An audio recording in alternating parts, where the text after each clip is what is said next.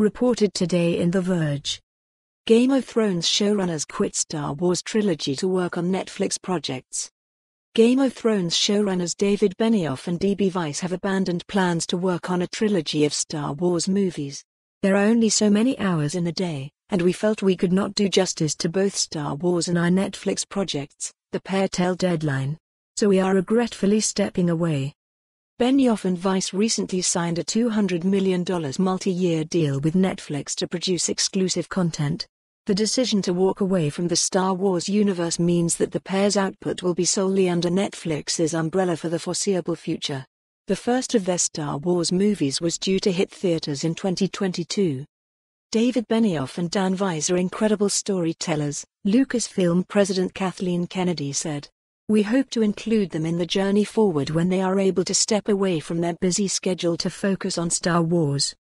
We love Star Wars, Benioff and Weiss statement continues. When George Lucas built it, he built us too.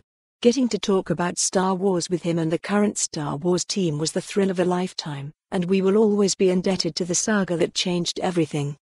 It's unclear whether Disney plans to continue with the trilogy that Benioff and Weiss were planning but the company has a ton of Star Wars projects on its slate.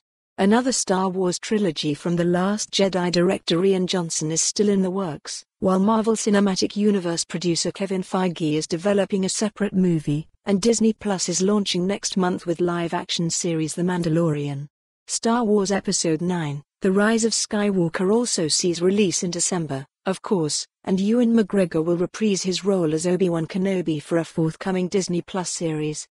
Disney declined further comment to The Verge on its future Star Wars plans. For more on this story, visit the news article link.